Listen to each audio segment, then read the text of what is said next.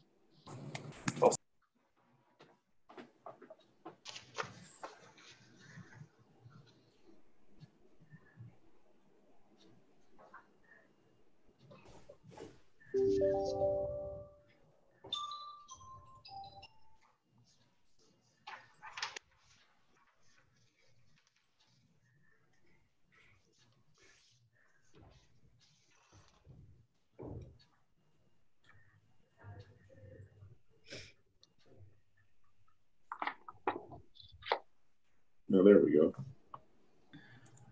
Okay, see what we got here. Hi, Michelle, you ready? Yep. Can you hear me? Yep. Are, are, are we waiting on anybody else, Michelle? Can you tell? Mm, don't think so. Okay. We got Miss Hales here. Yes. Everybody got okay. All right. We have enough for a quorum.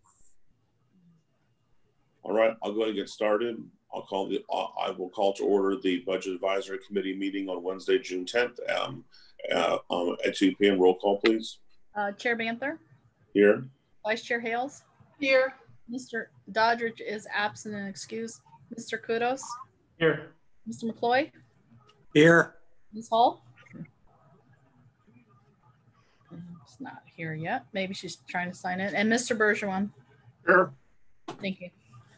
Okay. All right, very good. Um, we'll go, we're going to get started. We have we have we have we have eight different departments today. But, um, um, and our first one is the Public Works uh, Tom Funcheon. Hello, everybody. Uh, how's everyone doing? I'm Tom Funcheon, Public Works Director. Uh, I'm not going to bore you with too much over here because COVID has put a little bit of a dent in our in our budgets, as we all very well know. Uh, so just give me a few minutes here, and I'll go over the multiple budgets I have. Uh, the first budget, which we'll talk about, is the uh, facilities maintenance. It's on page 83. I don't know if everyone's got in front of them or not. Uh, but if you don't, that's fine, Danny. I'll just touch base on that. Uh, it's pretty much almost a mirror of last year's budget uh, with some minor adjustments and a little bit of overtime. Uh, but otherwise, uh, it's pretty much followed the same pattern. Of course, prior to prior to the COVID incident over here, I was actually hoping to move it up a little bit, but unfortunately, that's probably not going to happen. Um, and of course, I got some projects going on. Uh, think is pretty much uh, uh, on par there. Uh, have any questions on that budget, or I'm open?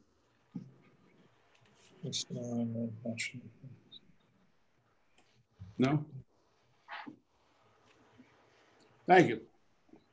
Uh, the next one uh, that I have is the Parks Department, General Fund again, page 94.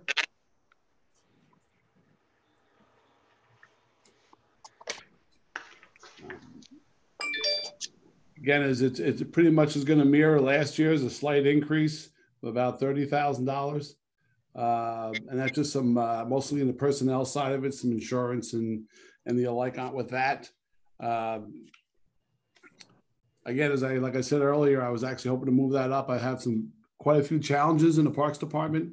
Uh, heavy requirement, which I agree with on the beautification, but it's taking a pretty good toll on my uh, on my uh, uh, personnel, uh, and uh, so it's going to be tough to maintain that same this year. I know COVID again made a pretty good dent on it. Uh, not what I would like to have gotten there, but uh, I got a feeling it's going to have to. It's going to probably show a little more this year uh, with the fact that we just don't have the, the the the personnel to do it. This is a department at one time actually had uh, 19 employees on it back in the early 2000s, and I'm working with 13 right now with a lot more responsibility. So somewhere along the line, you know, I come back again when when we can, and hopefully when the funds uh, return, that we can think about maybe increasing this budget and at least uh, adding a couple more personnel. So Tom, what are, what are uh, some of the key projects that we're giving up? You're saying It- lack of personnel. I'm not trying to say, uh, uh, Mr. McCloy, uh, it's not so much giving up. Uh, a lot of the stuff we're doing in the parks, I would say, uh, probably eighty percent of it is just your general maintenance, uh, mowing, mowing, mowing. As we increase, and I, and I agree with it, a lot of beautifications, whether it's additional trees or additional flowers, uh, they take labor. Uh, I have an employee now that all he does is, is, is spend 40 hours a week watering. Uh, it's quite a bit you know and and i can understand watering because a lot of your beautification doesn't have irrigation or irrigation available you're doing flower pots you can't run irrigation every flower pot in the city It'd be impossible uh, Right. the cost would be astronomical uh, but after a while uh, as we increase these uh, it becomes more of a burden just on the labor side of itself and i said up till maybe you know uh, five six years ago we are holding on but as we increase the beautification which i'm, I'm again as i support uh, it's starting to take a toll on the departments. You know, up till 2000, we didn't have an excise park and a splash park. Uh, we definitely have as many trees going in, and we're going in, and they, they look great, but they all take time. They take maintenance, and they take hours, and, and uh, it's starting to get to us a little bit. To be honest with you. Okay, Got it. Thanks for the answer. No. Because I don't see a big number in there for overtime to, to address the uh, issues or, Yeah, uh, you're you're right. There was there, there was overtime money in there, not a lot. Uh, we do a Not lot. much. Excuse me. Not much. No, there's not. There's not much, and we work pretty much on schedule now. There are some overtime we do do. We do uh, do do. That sounds good. Uh, we uh, do work on the, the plants, on the treatment plant and on the water plant, but those departments cover that overtime, which is good. Gotcha. I understand. Yeah. And some of the stuff we try to do early in the morning. A lot of our watering is actually done at four or five o'clock in the morning because of the traffic, and it's much more efficient. And so, Right. I was Okay. hoping to get, a- yeah, so I was hoping to add to that this year's budget, but we'll get along. Uh, we'll survive. We, we, we've survived this far. We'll survive again. Uh, some of the other budgets I haven't touched, Nancliffe Nature Park. Uh, there was a, and I, I blame this on myself uh, between last year's and this year's budget. Uh, I didn't do enough, a good enough job uh, uh, reviewing that after it came out. And there was a minor, well, it was a minor, there's quite a bit of change in it. But uh, we'll survive it this year and it'll be back to its normal operating numbers. Uh, you will see no effect on the park whatsoever. Okay, just don't call me at four o'clock in the morning to help you water, okay? You're not going to be up? well, you probably got a tea time at seven, so I don't want to bother that. Oh, geez. Yeah. Okay, All right. Uh, uh, the next department we can talk about uh, is uh, Road and Streets Department. That's on page 134. one thirty-four, give us, 134. Yes. Um, again, this is, uh, uh, and actually in this case here, uh, again, his budget hasn't changed much over the years except for the minor changes. And again, I can blame it on COVID, but that's that's pretty much what's done it to us. Um, I was going to request additional money in overtime. Uh, one of the things Road Streets does that people don't realize is we do a lot of work with the uh, uh, special events, First Fries especially. Uh, it takes it takes quite a bit of people over there to do it. Um, you know, but fixing lights and cleaning up, and uh, so it takes a little bit of a beating on the uh, on the overtime. Well worth it, if I may say, but definitely well worth it. And these guys also come in on emergencies, trees down, light poles knocked over. For some reason, it's been a little extra this year for whatever reason. Just I guess 2020 has just been that year, so those things are happening. But uh, one of these days down the road, we'll have to uh, look at that and probably uh, add some more uh, funds to cover that. But again, yeah, it's pretty much the same budget I had last year with those those other minor changes. okay, Uh, the next one, which is interesting, uh, I'll probably uh, landfill closing. I don't know how that. Not much. Let's see. I'm sorry. Solid waste would be the next one. I apologize. Solid waste is on page two ten. two-ten, Uh, 210, yes. That's the uh, waste management contract for the most part. It's pretty much dictated by uh, our customer our customer account and the funds that come in from uh, from those. Uh, not too much of a change there. Uh, it's a pretty active department. Um, in case people don't know, that department works uh, seven days a week. I have guys coming in every weekend, Saturdays, Sundays, holidays to do trash trash runs. Uh, the parks, the beaches, they all have to be taken care of. Um, Mr. Tom, excuse me. on line, on line thirty-four, oh, what's the increase in, uh, in other contractual uh, service? What does that reflect, that large increase from fiscal year twenty twenty to twenty twenty-one? Uh, probably the increase in the uh, uh, fees. Every year there's a readjustment of the fees. Ron could probably touch upon that better than I can, but there's been a, an increase in the fees. Okay, thank you. You're welcome. We have added some more equipment. Uh, I'm making some changes in uh, changes, upgrades in sanitation. Uh, we'll be replacing trash cans around the city.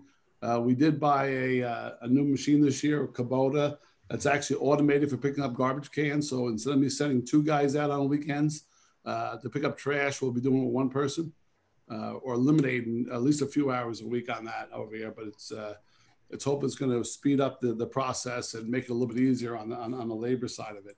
Uh, those uh, equipment like that really does save us a lot of time and a lot of a lot of uh, heavy labor, and hopefully will save me on uh, working comp issues too. We want to stay away from things like that. Um, the next one, uh, which I don't know if you noticed it, there's a landfill closing on 214. I know no one talks about that too much.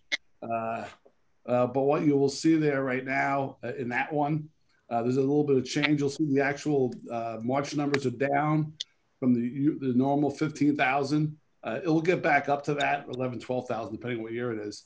There's just been a slight delay in this sampling out there because of the Meres Boulevard going through. There's some uh, sampling sites over there that have to be moved, so they were shut down for a while. We're just a little bit behind on that, but we'll end up uh, we'll end up balancing it out at the end of the year. I don't know if anyone knows that or not, but I did. Uh, the next big one we can touch about uh, would be uh, I would go to page 218. This is the uh, yard waste recycling. that one's kind of important. Right now, the budget doesn't change too much, but if you notice that down in the uh, uh, the CIP side of that, uh, there's some increases in building and other improvements. Uh, as you all know, Meres Boulevard is going through, and sometime in the near future, uh, that will be operational. It kind of makes my scale where it sits now uh, obsolete.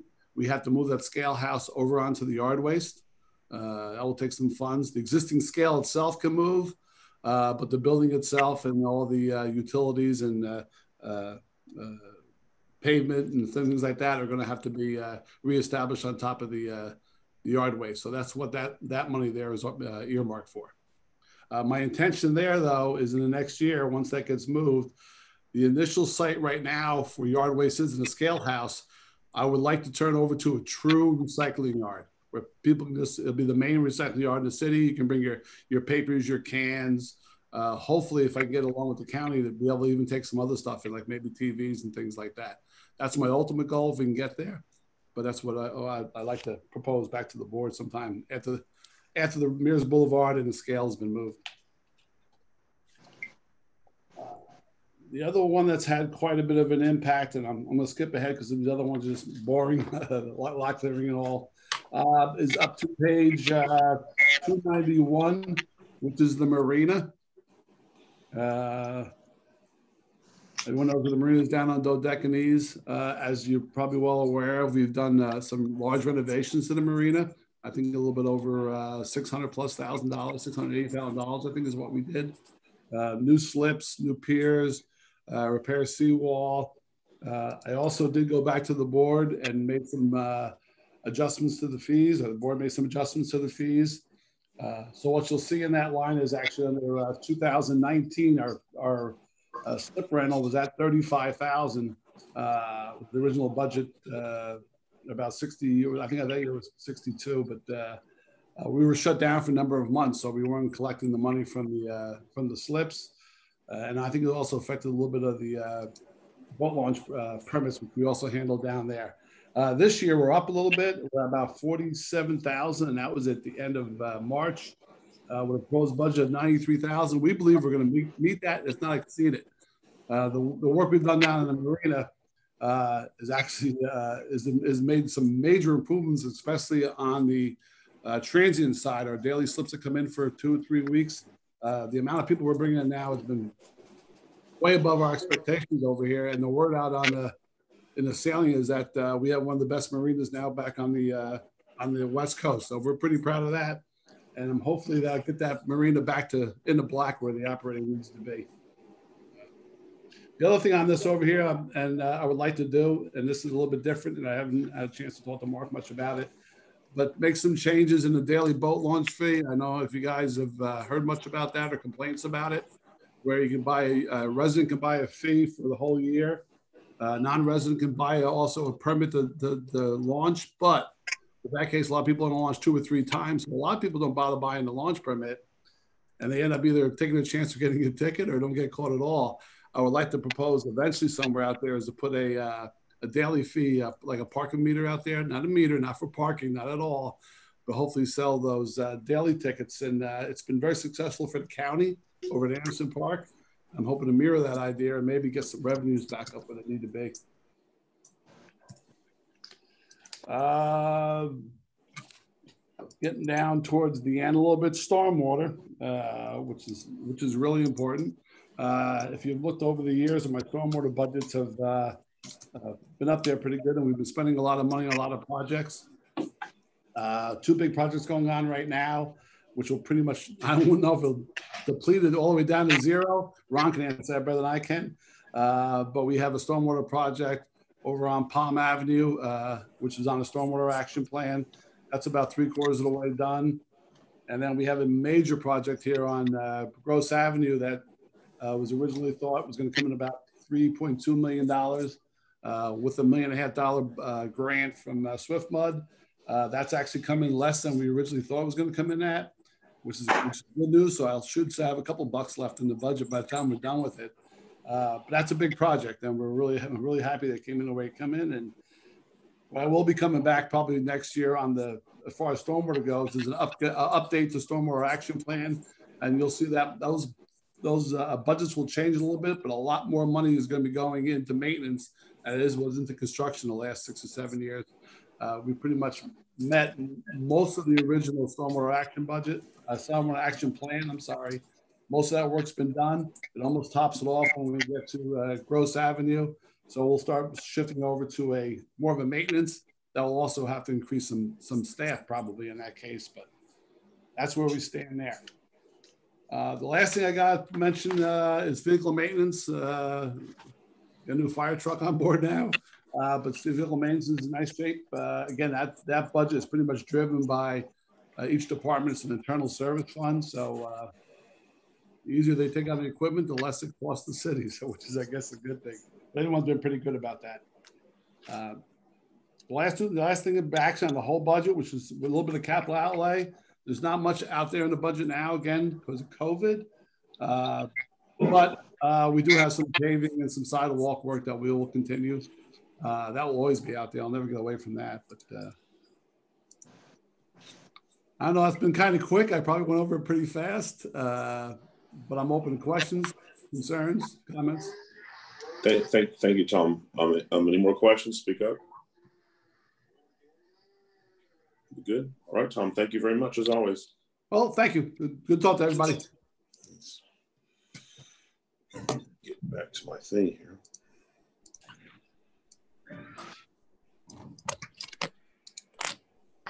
Okay, next up is Fire Department, Chief Young. Good afternoon, everybody. Chief Young from the Fire Department. Uh, I'm going to share my screen here with everybody. Just confirm that you can see it. Everybody see that screen? Yes. Yep. Okay. So uh, just going to go over our uh, proposed budget that we uh, submitted.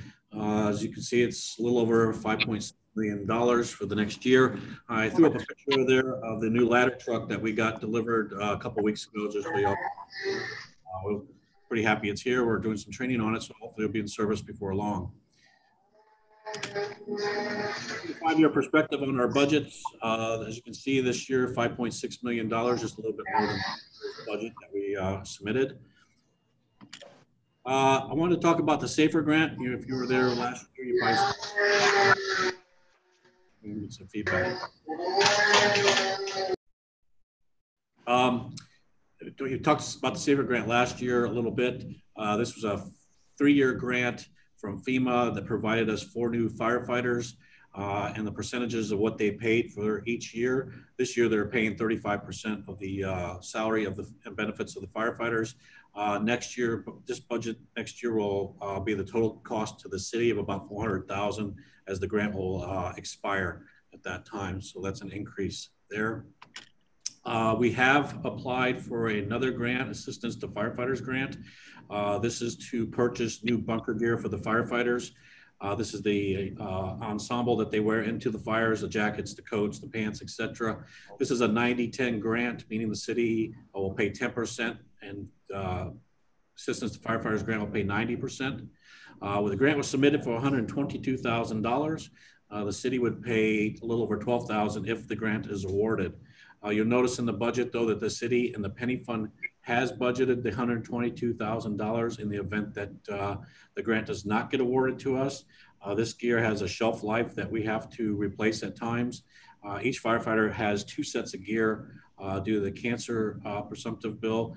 That way, when they go into a fire and they come out, this the dirty gear goes to a uh, decontamination decontamination process, and they put on their backup gear. So we have to start rotating the gear out, and that's what that is for.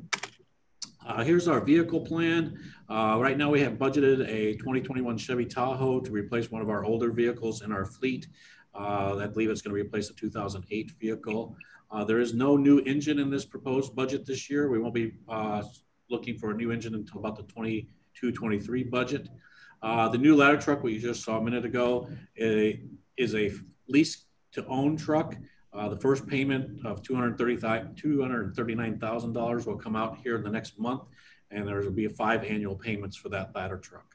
And the ladder truck uh, usually keeps, uh, we keep it around 10 years. Uh, so that should last us probably till 2030, hopefully. Uh, here's some funding. Uh, this is how we get some of our money for our budget. Pinellas County EMS contract that we have with the county provides about $1.6 million for EMS services. This is an increase of four, a little over 4% from last year. We also have a contract, fire contract with the county to provide fire coverage for their unincorporated areas within the city. We get a little over $500,000 for that. Uh, we also get some specialty equipment funds from the county. We get $10,000 a year for our fire boat, and we get a $5,000 a year for our marine unit. Uh, so total 15 for our two boats. So when it comes down to the whole budget, the county funds about $2.1 million of our fire budget. The city makes up the difference of $3.5 million. That's how we come to our $5.6 million budget. And with that, if anybody has any questions, I'll be happy to answer anything you might have. Mr. Banner. Chief, what's your, what's your head count right now? Uh, we have about 40 uh, personnel in the department right now. Okay. We run three shifts, 24 hours on, uh, uh, 48 hours off, three different shifts, A, B, and C. Got it.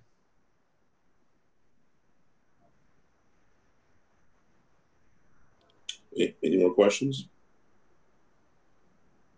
All right, all right. Thank you, Chief. We do, we do, we do, we, we, we, we do appreciate it. Thank you. Our next one is the Police Department Chief Kochen.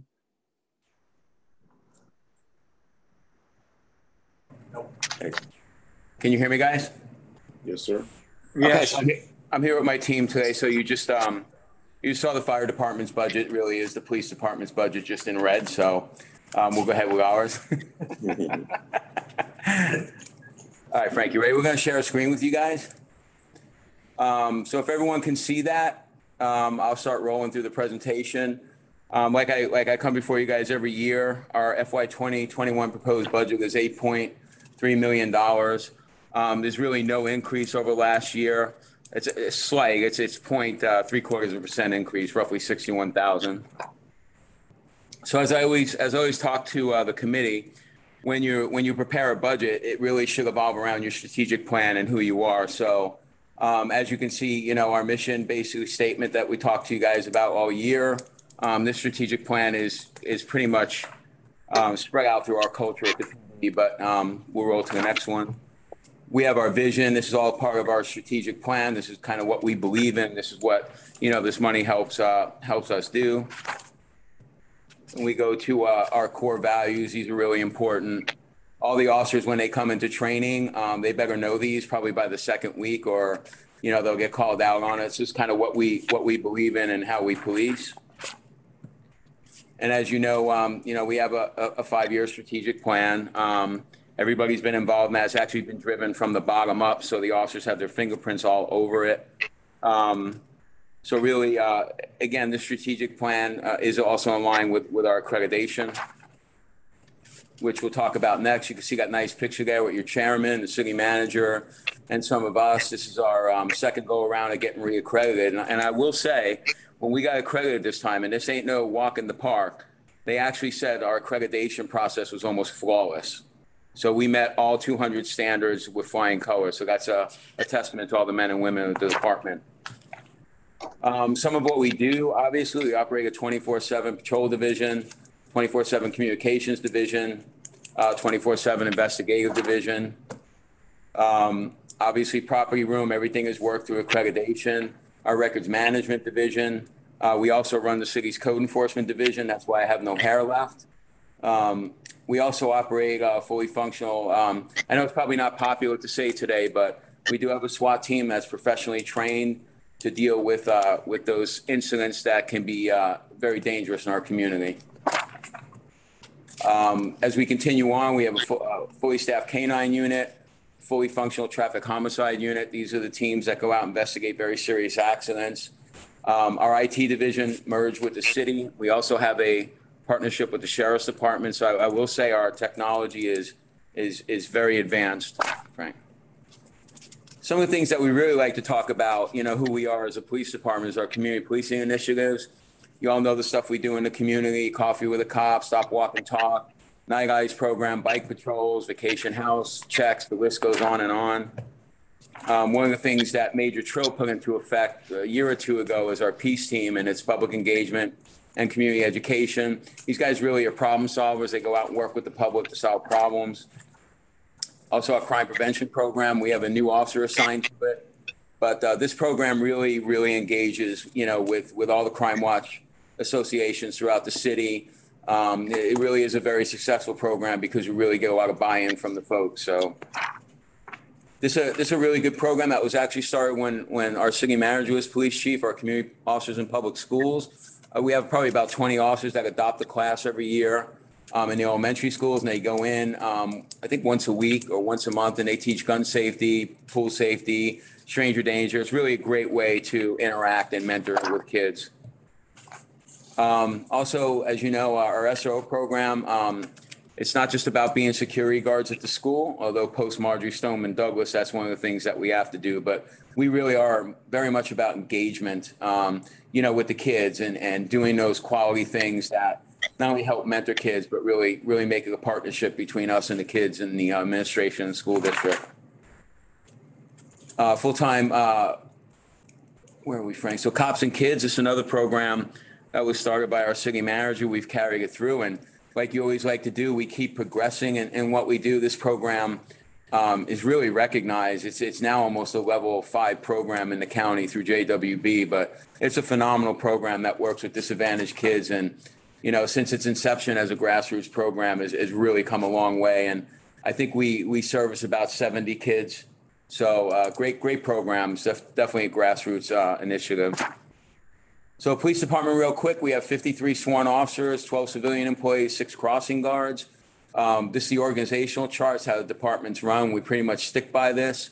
Um, you know, it's basically how you're structured and how things flow. But, you know, when it comes to chain of command, we're very, um, we love to have a two-way chain of command. We like to push a lot of things down to the line level, and empower the sergeants and, and corporals and officers to do their job. Obviously, we're a big part of emergency operations. Um, as you guys know, um, we've gotten all the equipment now that, you know, four by four trucks, equipment to go in high water. As you know, our city's real low lying. So we have a lot of equipment that can, that can help, uh, you know, basically rescue people, get into areas that most vehicles can't get into. One of the big pushes now, we have, uh, we have a pretty good complement of drones and people trained on them. You know, again, for emergency management, these, uh, these drones come in very handy.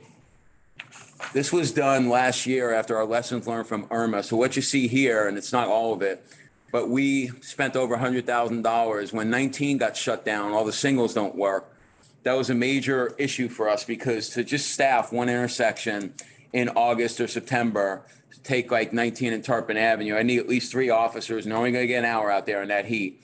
So it's almost impossible to staff all of 19 and run. So this these, this equipment that we have here within an hour and a half, we can set up a whole strategic plan with these barricades for 19. Uh, It's self, you know, it's self-operating. The vehicles will operate. We have everything in place.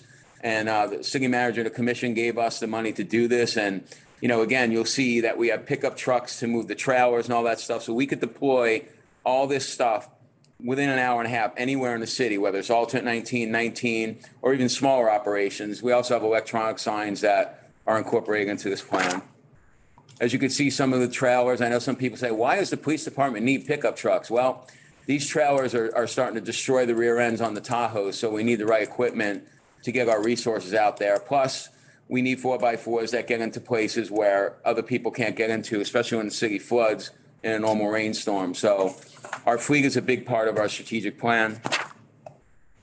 Um, due to COVID-19, we, we have had budget cuts this year, about 428,000. I list them all out in there. No officers are being cut.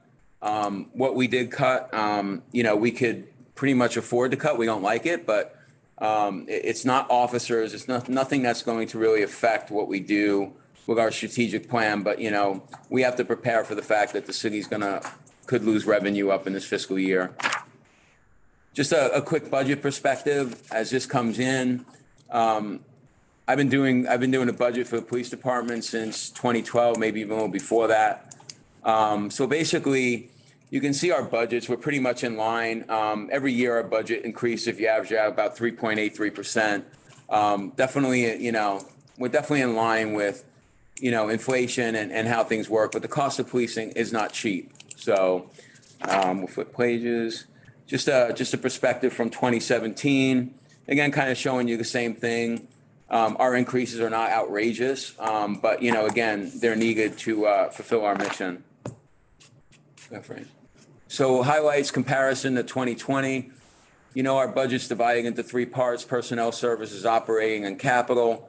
Um, our personnel services, most of these are finance calculations, went up about 1.9%. Our operating got, got cut about 1.2%.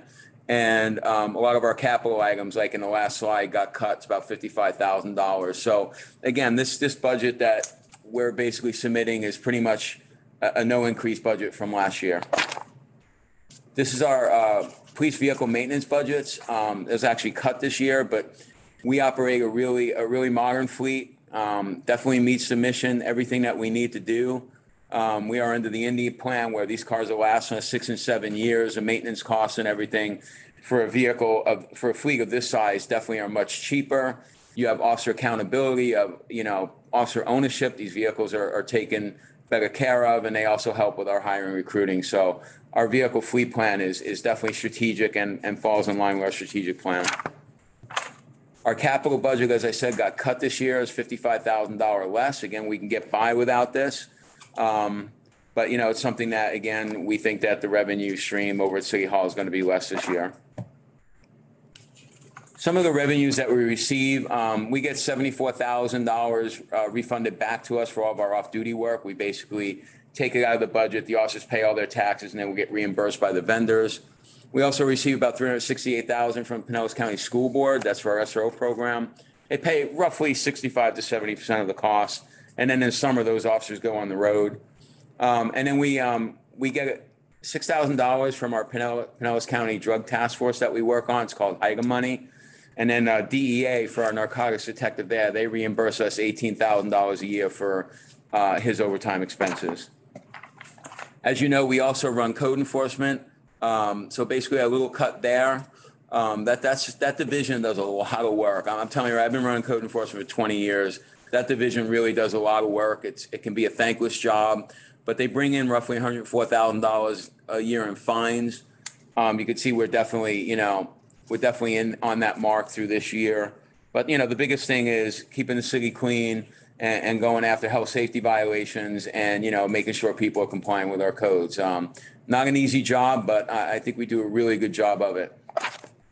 Frank, so this is our federal equitable sharing. This is basically money that, you know, we get from forfeiture from the federal government, from our DEA task force involvement. So this year it's been cut a little bit, but, but this, uh, this money that comes from federal government helps fund our SWAT team, our K-9 unit, and, and additional patrol equipment. And I will tell you, the Fed, federal government's very strict about this. This can only be used for police stuff. It can't be used for community engagement programs. It can't be used for cops and kids. It can only be used for police related equipment. So, and they audit us like crazy. So we have to stick by, you know, basically the criteria of that program.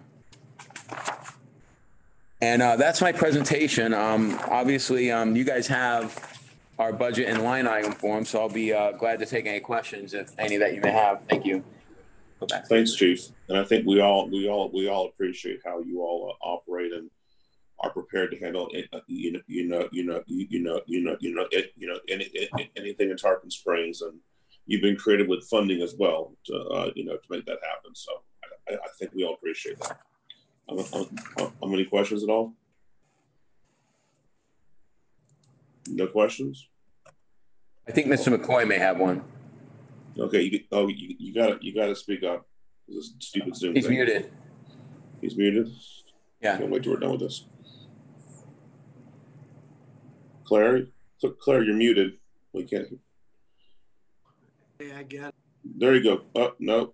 Do it again. Again, Nope. Can't hear you, Claire. There we go. Okay, Claire, start over. Sorry about that. Okay.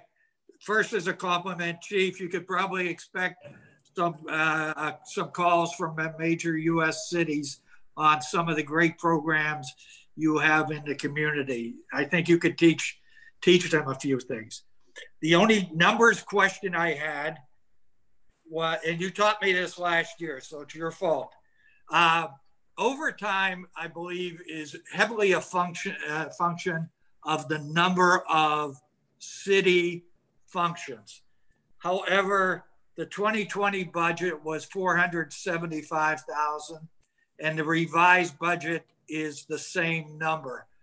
I would have expected with the virus going on that the number of functions have dropped off pretty significantly. So, um, I didn't mention, and I apologize for it, we just got a hundred and twelve thousand dollar grant, um, through, through the federal government, through FDLE for police overtime expenses for COVID-19. It's a two-year grant. So Nice. basically, all of our overtime for COVID will be reimbursed by the federal government. Nice.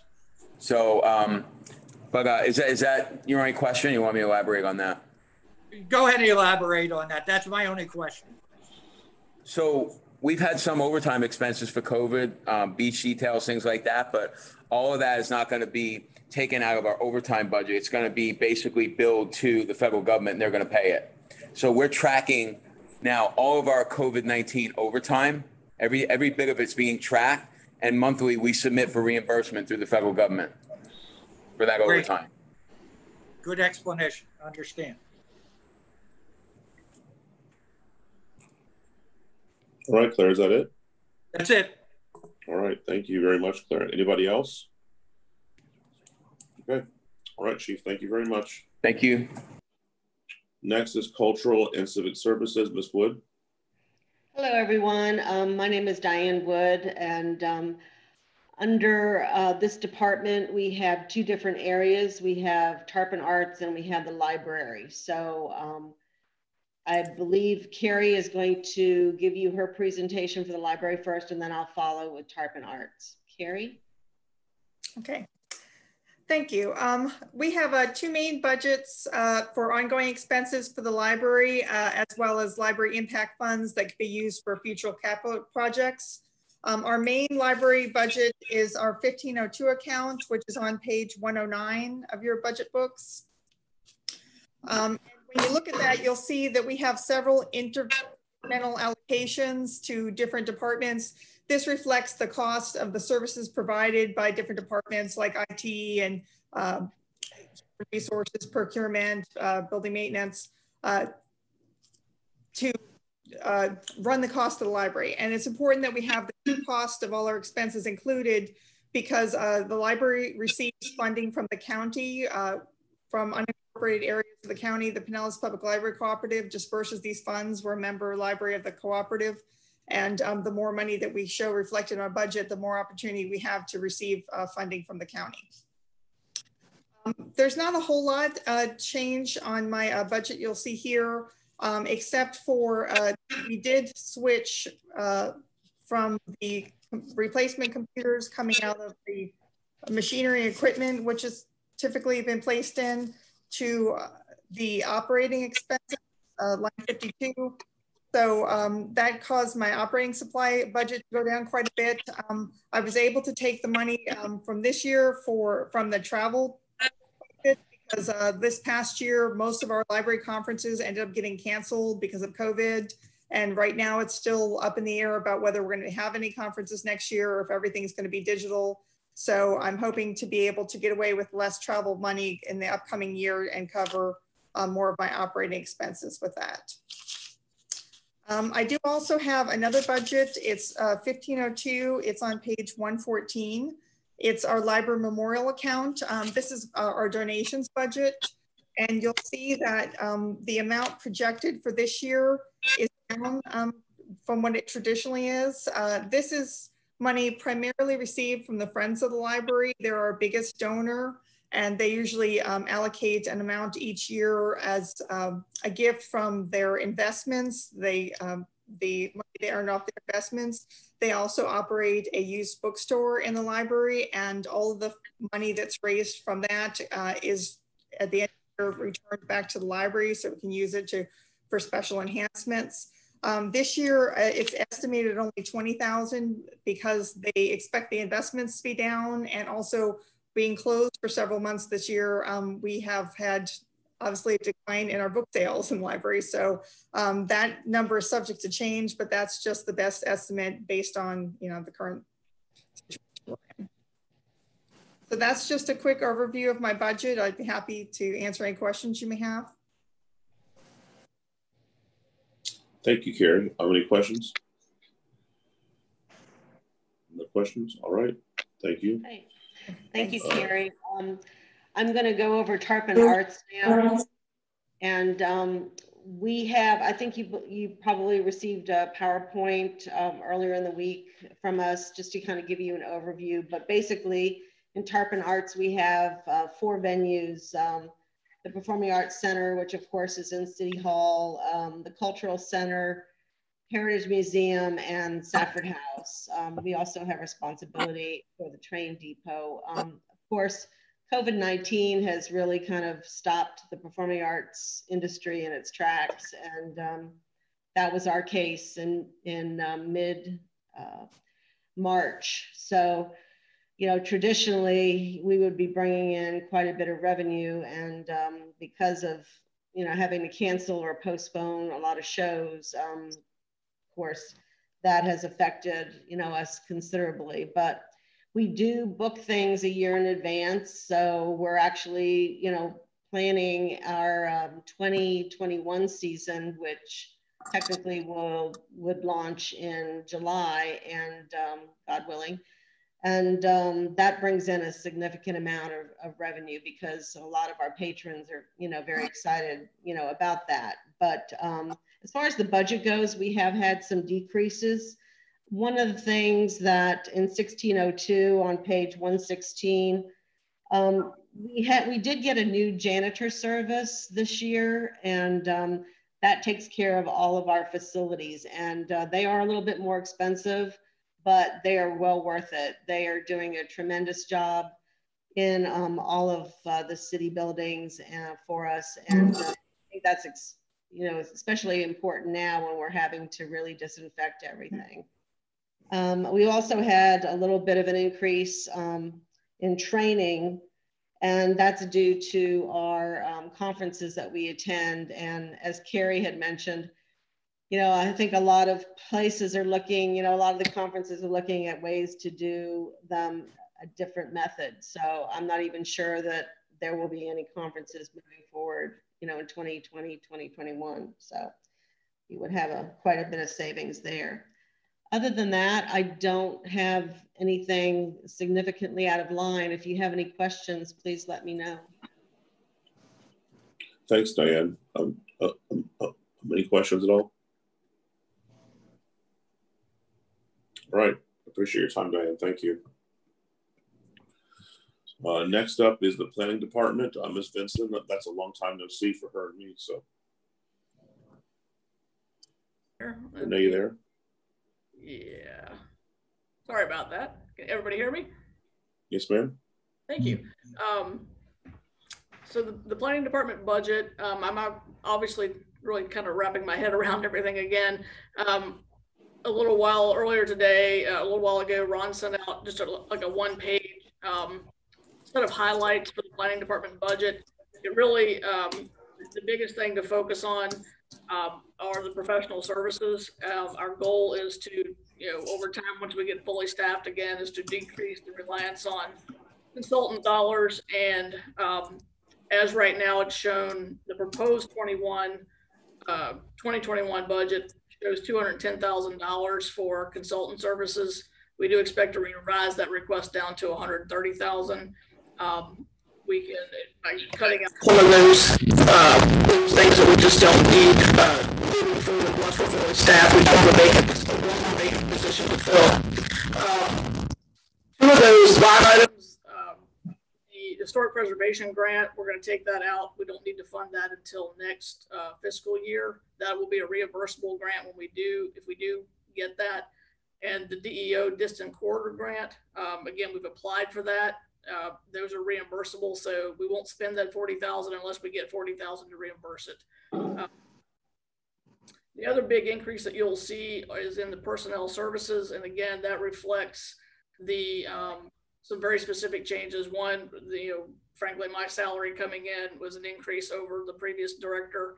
Um, and then we've had uh, an increase for um, that was approved by the city manager for the uh, my principal planner, and we are recruiting for uh, our to fill our city planner position.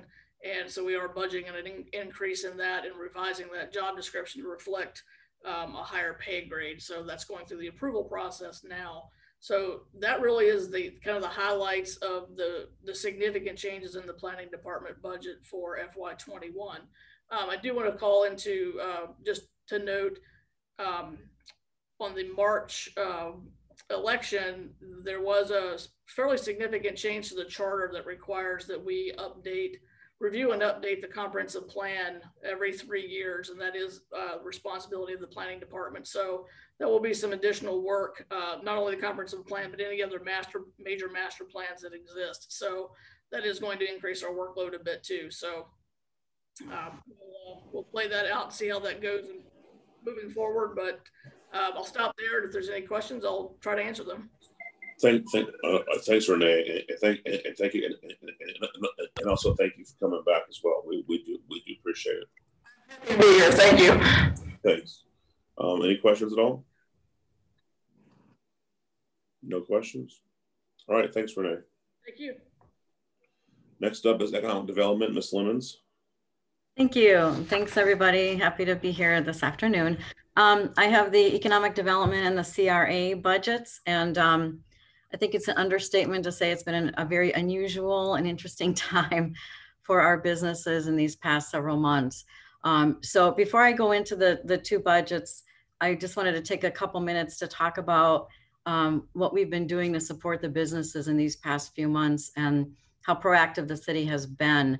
Um, we were one of the first cities along with St. Pete to start a small business grant. I think Ron might have mentioned that the other day was a thousand dollar grant for our small businesses. It started April 9th, and within the first day, we had over 100 applications. Um, we ended up giving 155 uh, $1,000 grants to our businesses, which really uh, they were very appreciative, and we were appreciative of the of the support from the board to um, use those funds for that. We also started right away in mid-March creating um, Facebook pages. We started a Tarpon Springs Business Happenings page. If you haven't gone or seen it, I encourage you to do so. Um, it has nearly a thousand, um, it's a group page, so it has nearly a thousand um, people who have joined it. It's really a good marketing tool for our businesses to um, talk about what they're doing, the specials that they're doing, and everything that the city has going on for our business support. Um, we put out to them. And then um, in mid May, we launched our phase one business recovery. Um, and I know Diane spoke, but she didn't talk too much about this. So I will, I will, because they, their department had a lot to do with it. Um, we did outdoor dining and outdoor display of merchandise for our businesses. It was supported by the, the Board of Commissioners. Um, we allowed restaurants to expand their outdoor capacity, closed Hibiscus Street, and we had about 20 restaurants that took advantage of that. We have a lot of businesses that are putting additional signage out and, you know, they've been very appreciative of that because every, um, every bit of advertising matters. We've had good reception from the businesses and really good reception from the public who have been, you know, sitting outside in these new nice spaces that they, that they really enjoy. And then last night at the board meeting, the commissioners extended those accommodations through July 19th. So we're very happy about that. And then on Monday, we started our phase two recovery. Um, and this is where Diane's group had a lot to do with it. Um, it's a 12 week campaign. It's a tourism campaign using TV and digital. And uh, we extended our billboards that we have out through the end of June of 2021. We created a Facebook profile frame so if you haven't seen that, it's a frame that you can put over your Facebook um, picture to, it says rediscover Tarpon Springs. Uh, we're targeting the uh, three county area, um, Northwest Hillsborough, um, West Pasco, and um, Pinellas County to try to bring locals and tourists back to the area and let them know that we're open for business. And we've been distributing blue posters to our businesses, having them replace those yellow ones that the county made them put up to put these new ones up so they can put their specials and, and things on that. So that's been um, a very robust campaign that just started. The ads are running on Spectrum, so look for those if you have Spectrum. And we've been sharing those on Facebook um, as well. So we're very excited about that. And then um, just moving forward and talking with our businesses, I have not heard anyone yet that is closing or because of the pandemic or not reopening because of it yet. I'll say yet.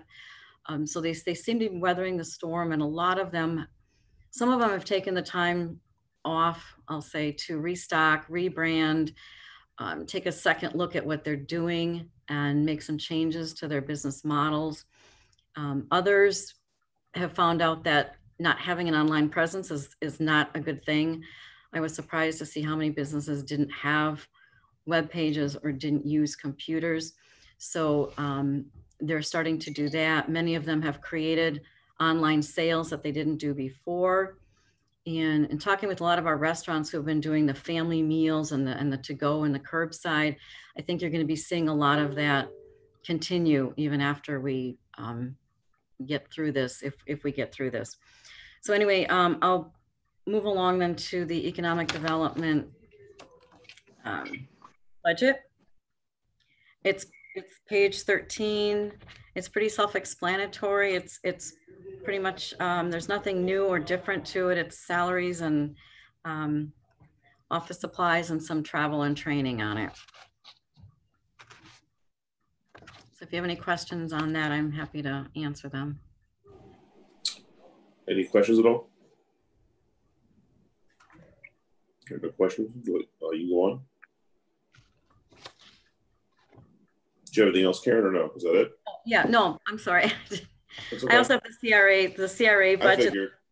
All right. Starts on page 186. Um, again, there's no new budget requests on there, but I will say that our CRA, our incentive grants have been very successful. Those are the facade and the restaurant grants.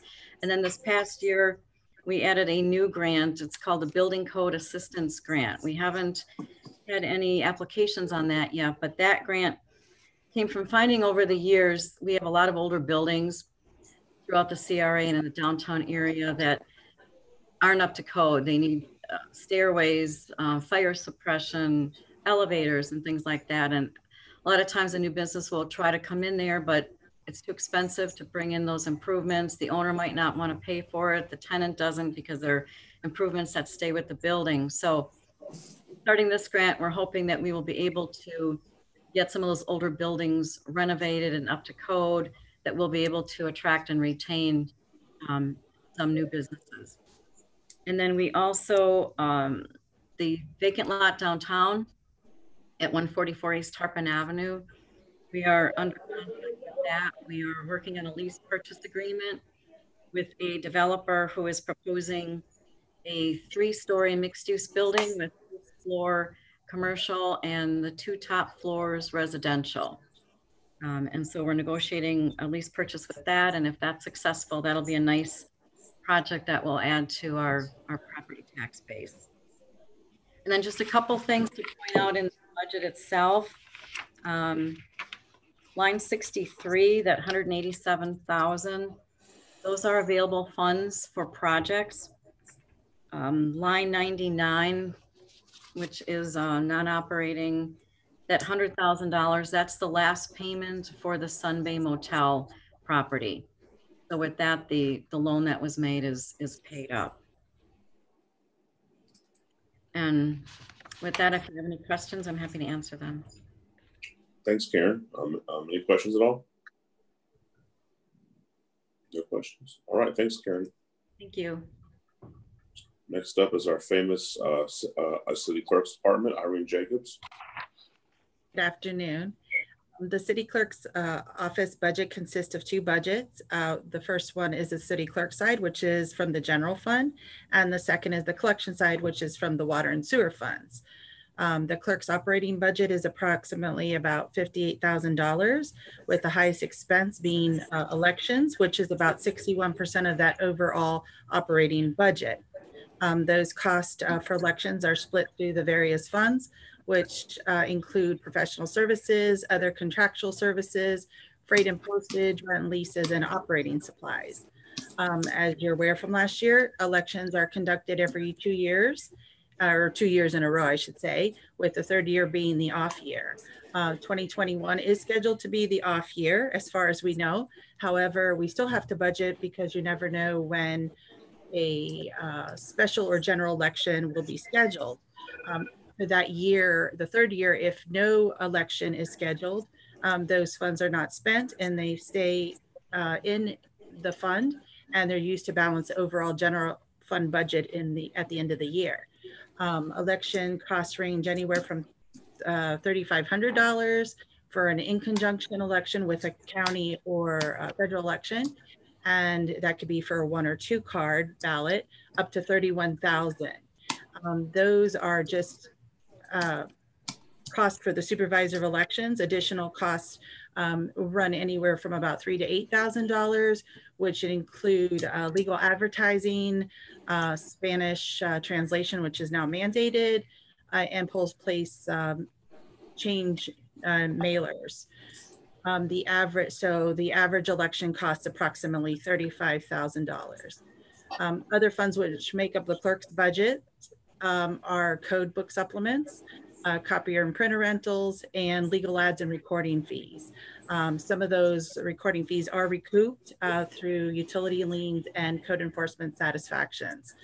Um, for our collection side, uh, which is on page 237, the collection operating budget is approximately $40,000 and the highest expenses in, the, in that budget are for delinquent letters uh, monthly and for our RVI, our, our, sorry, I should say our IVR um, uh, support maintenance. Um, and that takes about 63.9% of that overall operating budget. Uh, delinquent letters are taken out from non-departmental throughout the year. And at the end of the year, they're taken out of Fund 42. Um, last year, we totaled about 15,000 letters for the year. Um, this year, of course, uh, with COVID and everything, and us not uh, sending out letters uh, since March, we're at only at about 7,000 letters uh, for the year. The IVR uh, maintenance uh, is for interactive voice recognition, which allows our customers to make payments 24 7 in real time to their accounts. Um, other than those accounts that I've highlighted, uh, the rest of the budget is the same. Um, as for our capital outlay, uh, we only budget when directed from IT for replacement computers. And as far as our other equipment, um, we usually keep it until uh, we can no longer keep it because they can't repair it uh, because there's no parts made to repair it. Um, so that is all I have. I thank you for allowing me to present my budgets and we'll be happy to answer any of your questions. Thanks, Irene. Have any questions at all? No, no, no, no, you know, no, like words of wisdom from from from from, from the deputy clerk. None. All right, very, very good, Irene. You. Thank you. I'm sorry. Was that Claire? Who? No. You good? I don't want to ever talk to you. This Zoom thing. I can't wait till we're back in that room. I, I can't stand Zoom just for the record. So, all right. Thank you very much. Appreciate it. Uh, next up is Human Resources, Ms. Niffen. You, oh, you're muted, Ms. Niffen. Still muted, Ms. Niffen. There, there you go. go. Thank you very much for allowing me to present this afternoon. Um, the HR budget is pretty much the same as last year, uh, with the exception of the uh, computer that seems to have been removed from the um, from our budget because of uh, obviously because of costs. Uh, the computer was there just to uh, uh, to do conduct testing, so we could manage without it. But what I like to do is I did give you a or send you a, um, a kind of a summary of the HR department functions. I don't want to belabor that because a lot of HR in certain areas is common, except um, there is quite a bit of difference in between public sector and private sector when it comes to some of the things in, in HR and uh, what's involved. Um, uh, I would like to delve into the, um, the thing that we, the, the thing that is our, um, it's our pride and joy, and it's our uh, benefit program. Um, it's our best recruitment and retention tool that we have. Um, people often come here because of the benefits. Um, so I'd like to at least talk to you about what we're doing uh, currently.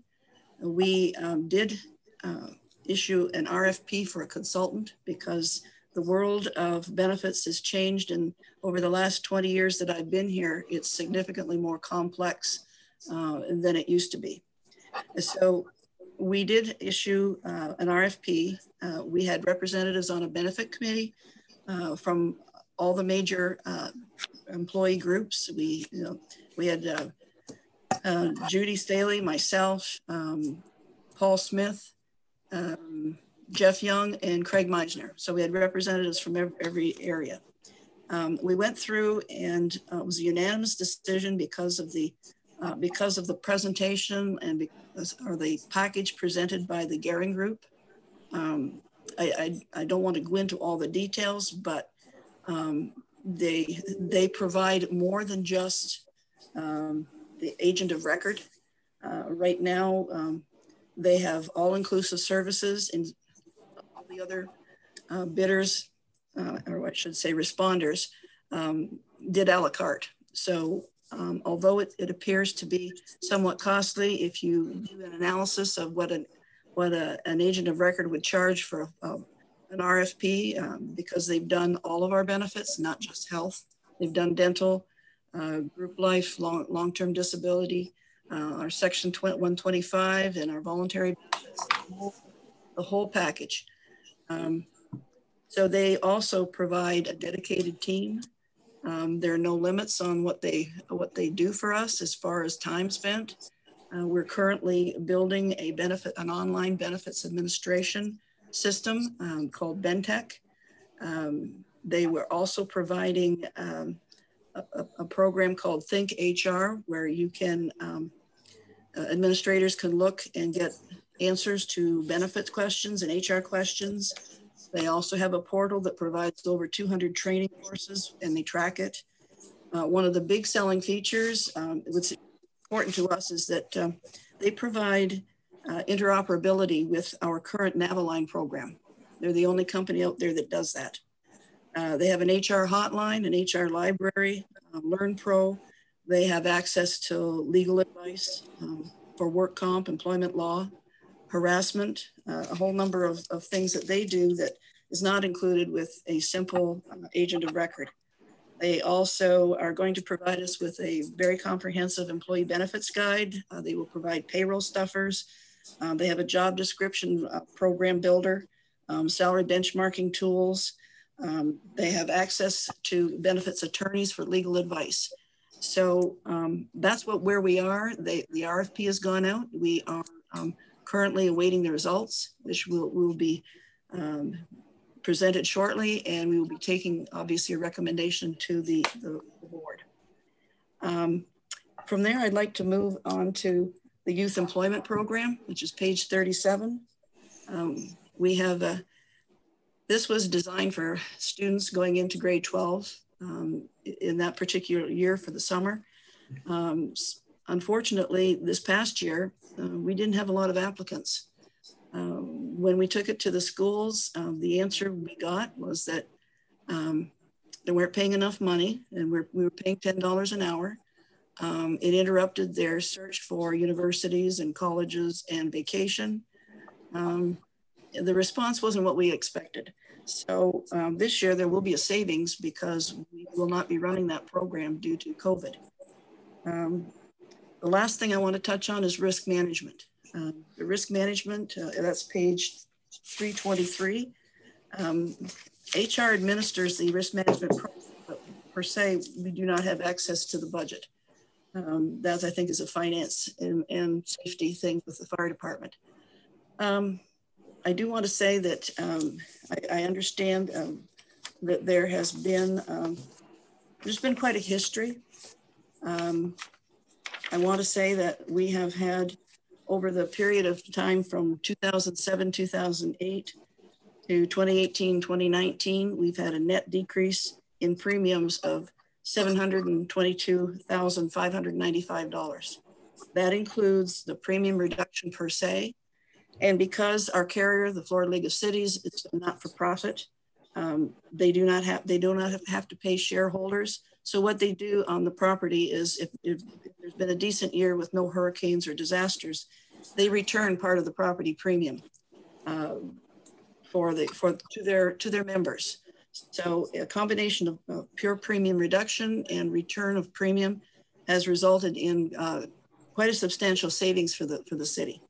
Uh, when I first came here, our budget was our the cost of it was well over well over a million dollars, and um, that was for the work comp alone.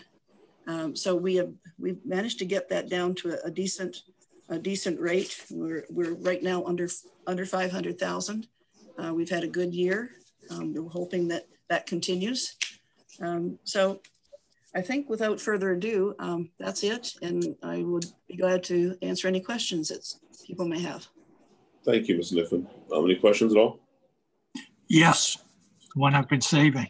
Um, Ron sent out to the group, uh, I believe it's the results through April 30th. He noted in there that uh, the RFP you referred to earlier in the discussion is about $123,000 per year for three years or 369,000. The number just blows me away as being large.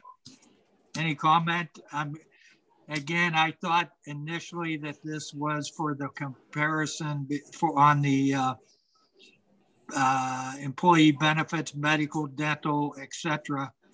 But yes. from what I'm hearing you say, this is a much larger scope, correct? Yes, that's correct. Um, they were the only uh, responder to the RFP that actually was fully responsive to our to our requests. Uh, they are providing a lot of value added services that you don't get through a strictly an agent of record. Uh, and if you if you anal analyze the fees, um, when you add in the um, the new technology that we're getting for online benefits administration, um, that's significant. It also includes the involvement of them in establishing a clinic, if that uh, is that if that uh, happens to result from the RFP, because um, employees are pretty pretty fond of that clinic. Um, but as I say, their their their involvement with us is not limited to the agent of record. They are actually coming in and helping us set up uh, these these different programs. They're also going to be there to um, assist us with open enrollment, which will now be online. Um, they will they will made, made a commitment to be here every month so that they could we could have a um, I guess a um, stay in touch meeting updating. So yes, um, that's probably why they were, were, were higher than the other bidders, but that's because they provide significantly more than any of the others. And right now they are they are completely handling all of the RFP. You know, we have we're going out for every benefit that we have as far as health, dental, um, group life, section 125, all the ancillary benefits. We have at least seven different, and they are doing um, they will do an analysis and they'll bring that analysis back to us. Um, not only that, they after after the fact, they will actually help with the open enrollment. They'll train city staff on using this new system. Um, so there are several added added value components that, that obviously drive up the cost. But so far, their performance has been um, more than what, what, what has been expected. We're as far as staff goes, we're very pleased with uh, with what they are producing. They've already saved us 25% um, commission in our IMED program. It's not a large amount and it's a voluntary benefit, but it's a savings that they were able to find. And they're continuing to do so. I'm very optimistic on the, the program of bidding out the employee benefits because it hasn't been done for so long. And I think they will be, that will be highly successful. But one question that I've been asking, uh, and, and you alluded to it, the benefit package is very good and an attractive. And Mhm. I've always said all along on this program, don't don't try to mess with that. You know, they can they can lower benefits, but just give us a competitive bid, keeping the employees whole. This is not a takeaway to the uh, to the employees, but I think you'll get competition, and I'm very optimistic to see those results. Okay. That's all. Thanks, Claire. Anybody else? And I and I, I also echo Claire's comments and praise as well. Uh, so thank you. All right, Ms. Niffen, thank you. Thank, thank you very much. All right, that's it for our for our, our presentations. Uh, public comments. Do we have anybody in line to speak? We have no one in attendance. All right. Uh, staff comments, uh, deputy. No comments. Mark. Comments, chief. Any comments? No, sir. All right. Chief, you good? Okay. All right. Board comments. One thing, I will be gone the last Thursday of June, so I'll be here next week, but gone the following week. So I assume we'll still be doing the weekly meetings. Um, I'll, and I'll be gone as well, David. Okay, so we need to, so we'll have to have somebody, I guess, how's that work, Michelle? Um, let me find out who the next senior person would be. Which means that you're both missing Uh, it's the last Thursday in June. the 25th. Yes, sir. Correct. Okay. Is our next meeting going to be the 18th? Um, I believe so. Would another day in the week work? I'll, I'll be in Georgia all week, and my internet up there is very spotty, so I can't rely on it. But if Miss Hales is available, that's fine with me, obviously. I guess that depends on what what Ron has next on the agenda. Okay. I think I think uh, if we go the 18th, I think we'll be able to get enough out there to be able to take a. We won't need necessarily to go. Then we can go into July with our next Okay. meeting. Uh, I Good think idea. we'll get it done on the 18th. Okay. Okay, fair enough. All right, that's good. Uh, I, I think that would work also because I'm not there that week either. You would have trouble making a quorum. Okay. Let's just consider no meeting that that that that that, that week off the bat. Then, okay. All right. Thank you very much. So the next Okay. meeting would be the 18th. Is that what I'm Yeah. hearing? Yes, ma'am. For our regular meeting? Okay. Do we have any agenda items for that meeting besides what uh, what Ron's going to provide us? Anybody? I don't have any agenda items. Oh, you have no items for next week, uh, Ron? Well, he will. He will because I want to. I want to do an up. Lots gonna. A lot has started to change, so we want to update Okay. you on some different statuses and stuff. So we will have by the 18th, um, kind of a budget update while we've been having these weekly meetings type thing. Okay. So All right, I think it's good. important. We may have some. We have some issues that we have to discuss and get your feedback on as we proceed before we proceed to the commission. And we're going to give a commission a little introductory presentation on the 23rd. So if we need anything we want to run by you before the 23rd, um, I like to do that on the 18th. Okay, very well then. No, you don't need me to present there, do you? Do you, Mark? That, that's not that's not the presentation for me, right? That, that's in like no, September. or no. This, in, in essence, to get the commission, because I'm feeling the commission needs to see that introductory um, presentation that Ron Okay. gave your budget advisory board. So in essence, he just wants to show. I want him to to give that presentation to the board what he gave to you. Okay, I got you. Okay, budget. very good. Very good. Okay, and so I assume we're good on the agenda for next the, the, the for next week. Mark will get with Ron to get on those items. Anybody have any further comments?